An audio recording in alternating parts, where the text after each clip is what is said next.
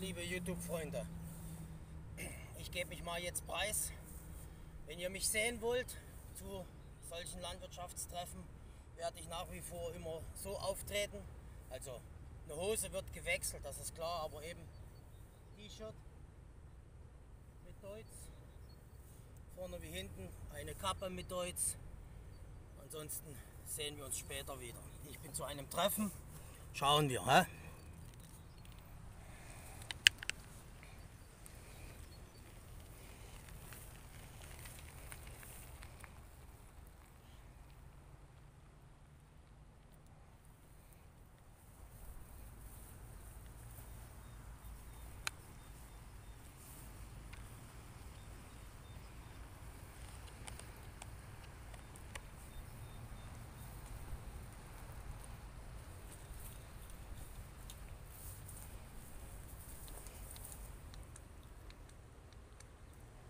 Ich bin hier zur Landmaschinenausstellung im Frühling. Ein, zwei Traktoren und ein, zwei Videos habt ihr schon mal gesehen. Vergangene Woche, diese Woche. Jetzt ist offiziell Eröffnung oder offiziell offen. Hat ein bisschen mehr da. Wie ihr seht, Kaiserwetter ist auch vorhanden. Richtig schön. Ansonsten gibt es da nicht viel dazu zu sagen. Dann schauen wir uns doch mal die einzelnen Gerätschaften an. Wer sich damit auskennt, dem muss ich nicht viel erklären. Hat hier Okkasionsfahrzeuge da. Man kann dann auch jeder selbst anrufen bei den Leuten, wer Interesse dran hat.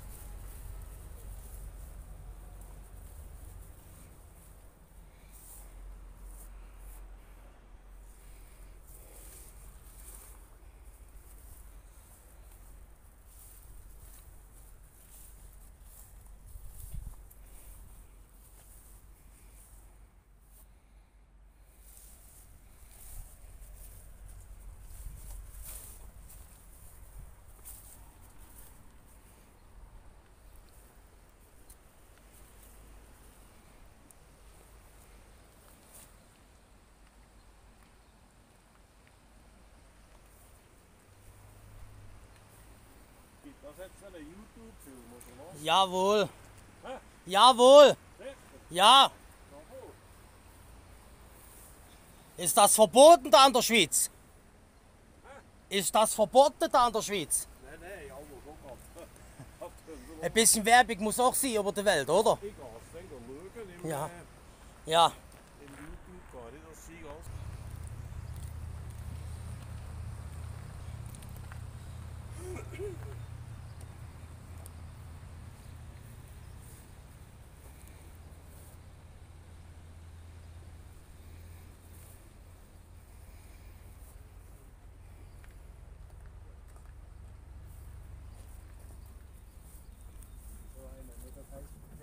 Alle zusammen.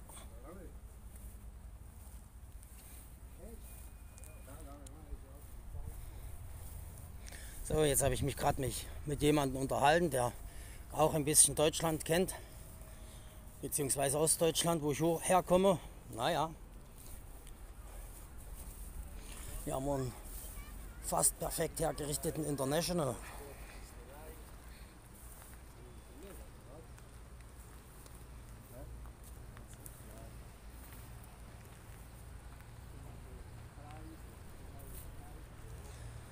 Aber schaut, seine Augenwimpern schauen ein bisschen traurig rein, wenn ihr wisst, was ich meine.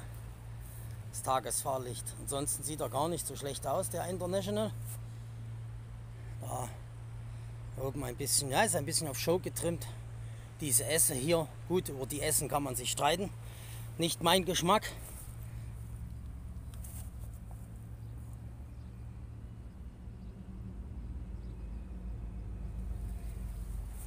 Ich halte nicht allzu wahnsinnig viel von diesen Edelstahlessen. Die anderen finden es cool und schön.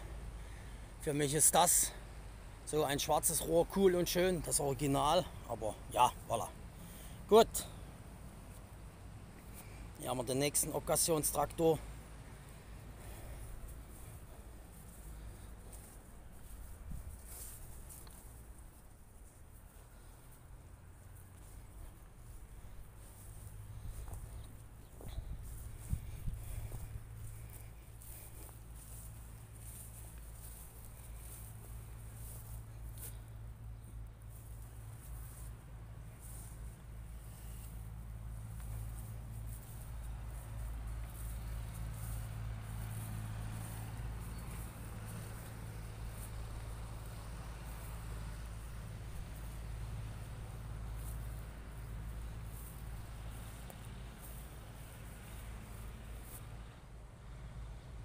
Wie gesagt, Occasionstraktoren hier.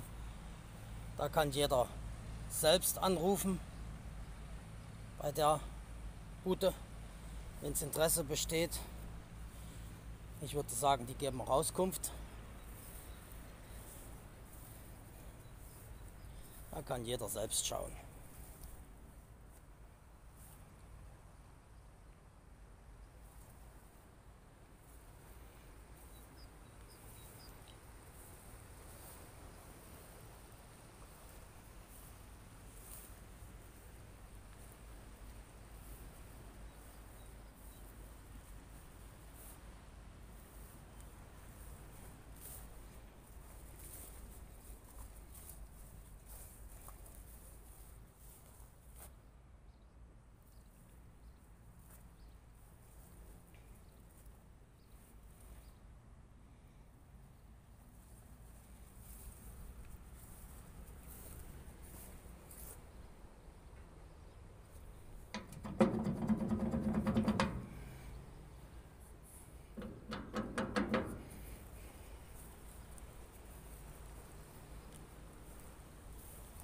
Hier hat man ein bisschen die Zugdeichsel spektakulär abgeändert.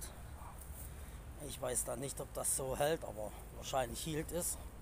Würde ich jetzt präzis wieder zurückbauen, aber es ist nicht meine Niederdruck, meine Hochdruckpresse.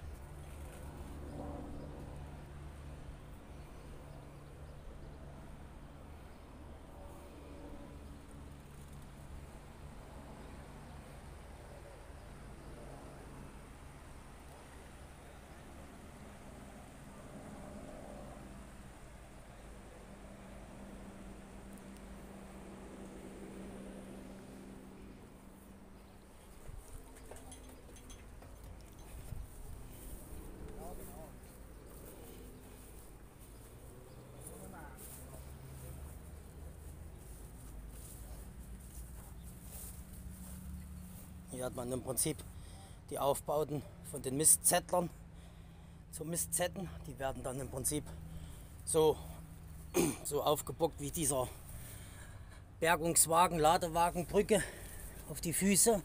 Und dann fährt man da im Prinzip rückwärts drunter. Rückwärts drunter macht die Füße nach unten und setzt das auf den Rahmen drauf vom Fahrzeug. Und dann hat man das schon. Verbindet das alles und dann ist schon gut.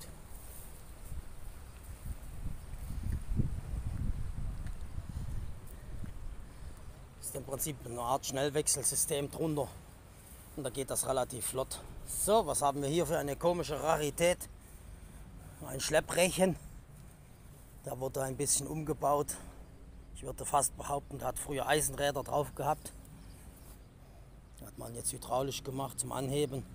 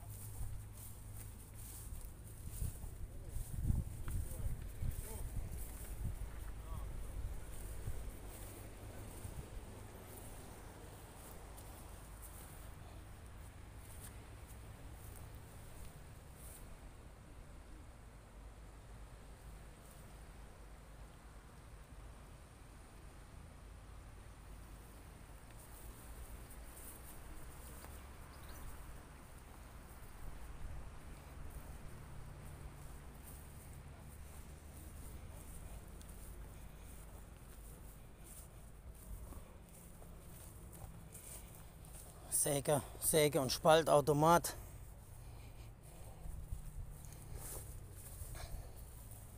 Ja, von der Firma Binderberger. Da, Binderberger, ja. Ja, musst du viel Holz schneiden. Da musst du viel Holz schneiden und spalten, dass der sich bezahlt macht. Ist Wahnsinn. Fragt mich nicht, was das kostet hier, das Teil.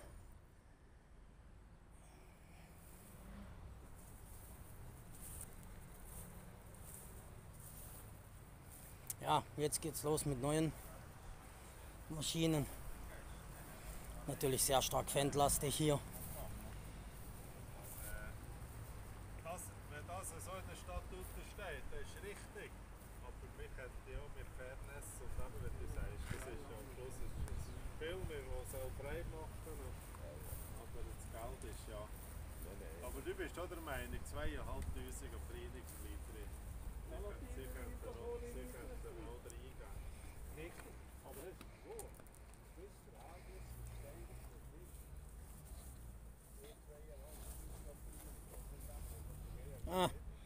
schon einer zugeschlagen.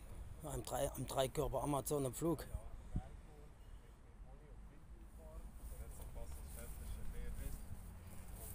Nein, oben und nicht Walder. Ich habe da gestern im Bär Fair, fair Rinder. Weißt Das, äh, Das ist stimmt. Aber wenn sie, wenn sie es nicht kennen. was bist du dicht am Breinig, dass sie jetzt die, die äh, Bestellung schon ziemlich gut haben gemacht haben, hast du dort im Berg gesehen. Ja eben, jetzt kommt fast nur noch das Neue oder gerade so einmal gebraucht.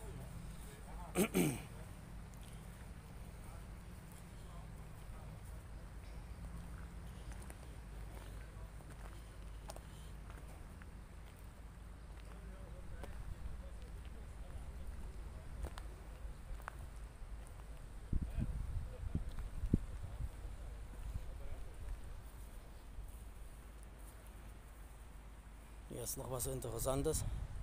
Mit dem kann man dann Hecken und Gebüsch schneiden.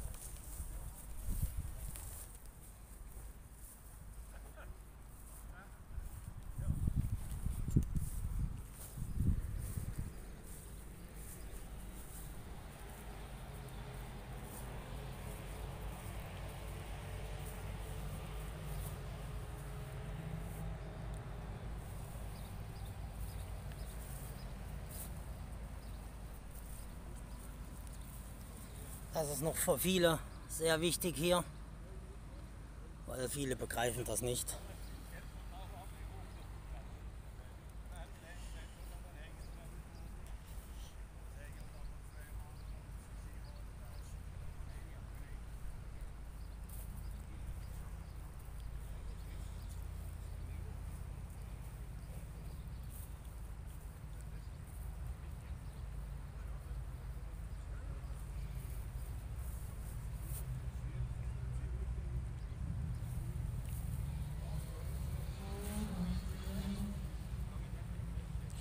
Also jetzt gibt es wieder welche unter uns, die das nicht schreiben können.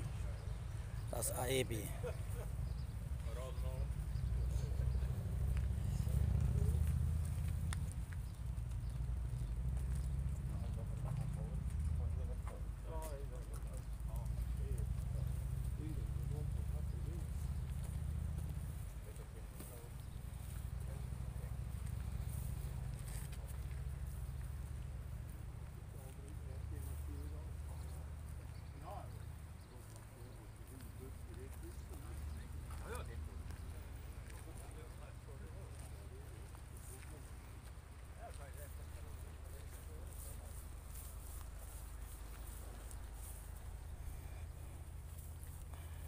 So sieht das eigentlich Mehrwerk mal aus, ohne Plastikschutzhaube drumherum.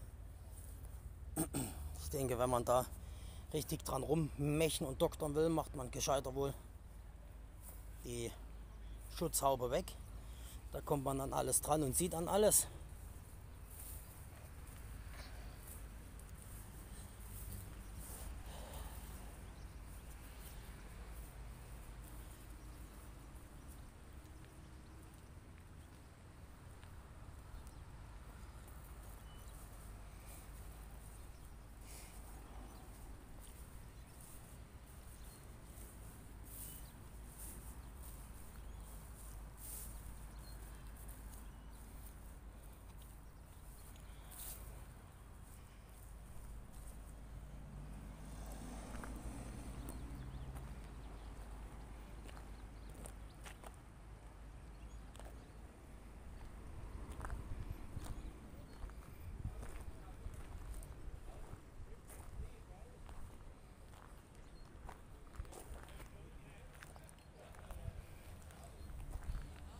Hier hat mal einer noch etwas zum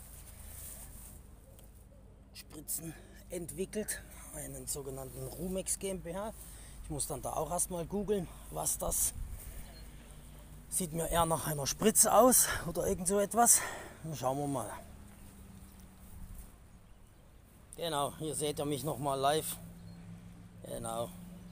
Wie gesagt, auch ich habe so ein schickes Gerät, wo ich stillhalten kann. Manchmal habe ich es dabei oder oft habe ich es dabei, aber nicht immer.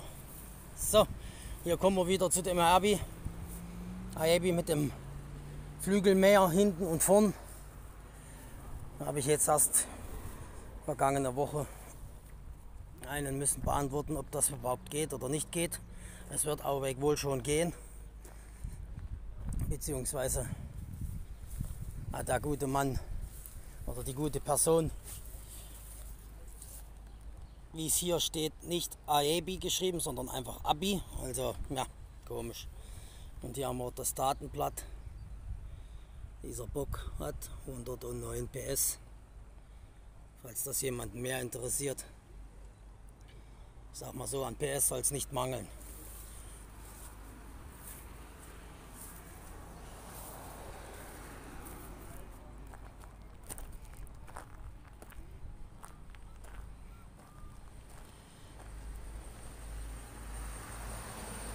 Schon verkauft.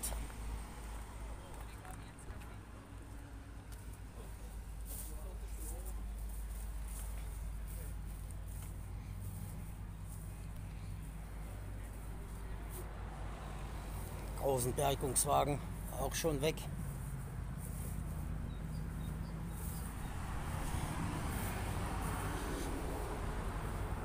Eben, ich bin hier zur Landmaschinenausstellung. Hat noch morgen, hat es noch Zeit, heute. Ansonsten könnt ihr ja telefonieren. So, kommen die ersten von der Probefahrt auch zurück. Ich werde jetzt mal die Straßenseite wechseln.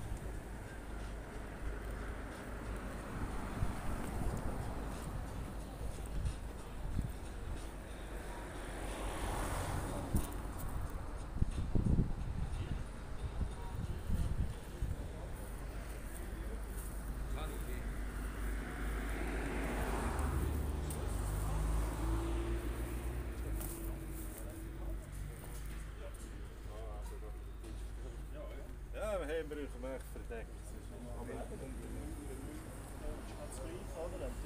Eintracht gehst, dann es nicht. Jetzt hast du aber dafür die Diode, die du siehst. Akkurat.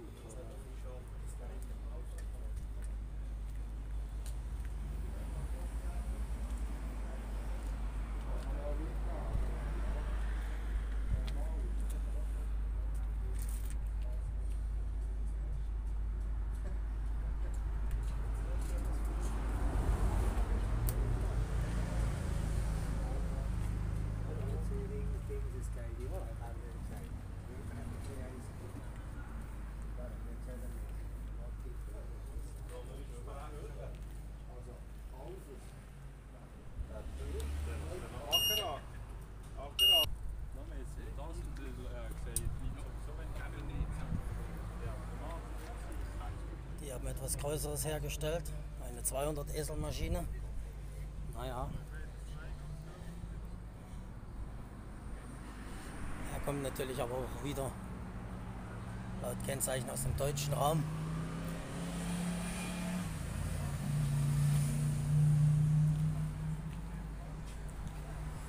So. Ja, da hätten wir eigentlich das Gröbste soweit da drüben. Ich drücke euch jetzt noch mal gleich auf Pause, weil ich muss ein Stückchen hinterlaufen. Nein, ich lasse euch dran. Ihr könnt noch ein bisschen die Berge. Halt, die Berge könnt ihr noch genießen.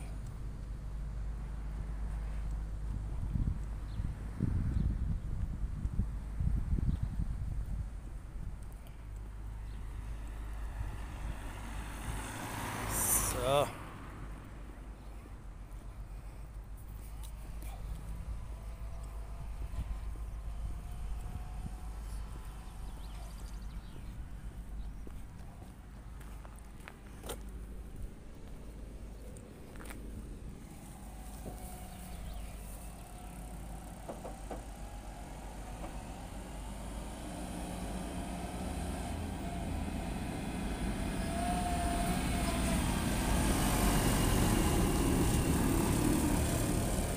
Er hat straff geladen mit seinem Streuer.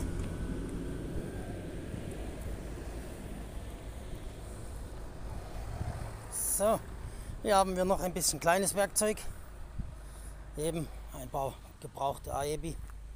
Mäher. Wie ihr seht, hangtauglich, definitiv.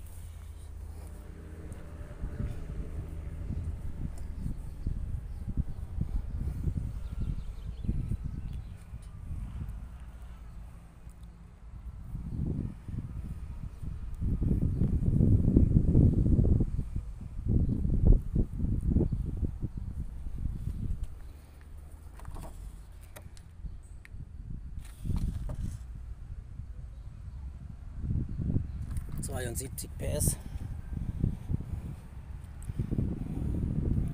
Den haben sie hier in den kleinen Hang reingestellt.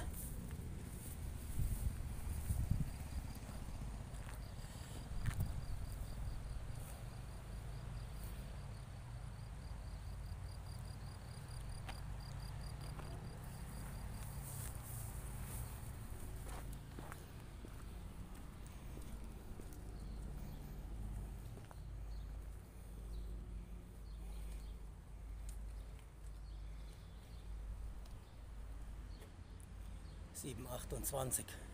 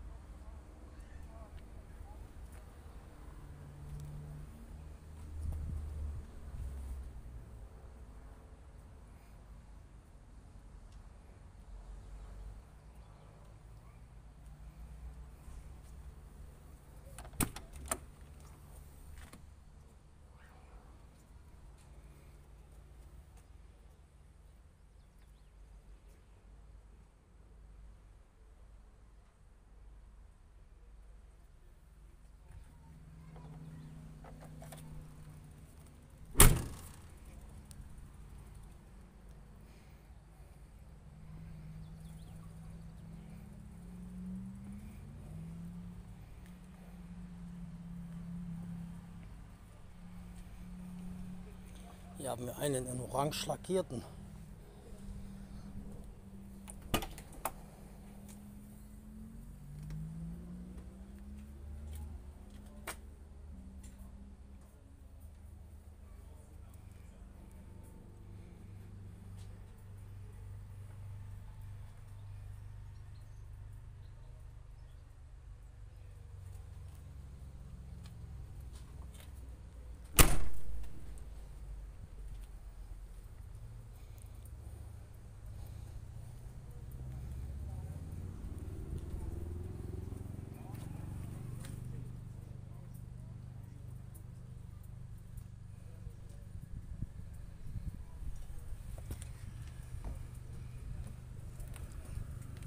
Ich muss euch ausrichten.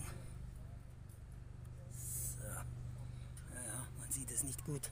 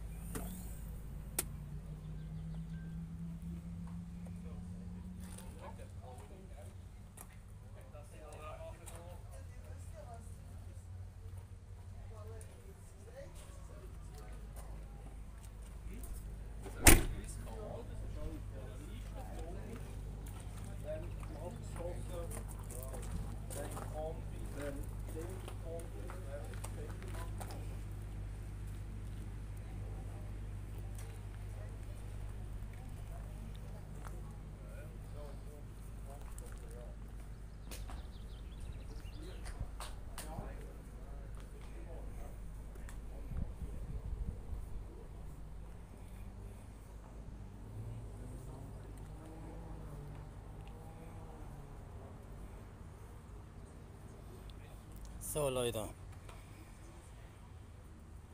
Das war's. Ich bin durch. Wenn es euch gefallen hat, könnt ihr mir gerne einen Daumen hoch da lassen, einen Abo da lassen, auch gerne etwas kommentieren dazu. Ansonsten denke ich doch, dass ich plus minus zu 99 Prozent alles gezeigt habe. Und für diejenigen, die es noch nicht wissen, ich bin hier in der Schweiz, ich bin jetzt hier in Meiringen. und äh, habe sehr schönes Wetter, wie ihr seht. Und da wünsche ich euch allen noch eine schöne Woche. Bis nächste Woche Pfingsten. Mal schauen, was mir Pfingsten alles so einfällt. Ansonsten gibt es da nicht mehr viel dazu zu sagen. Dann verabschiede ich mich hiermit. In diesem Falle wünsche ich euch allen noch schönes Wochenende.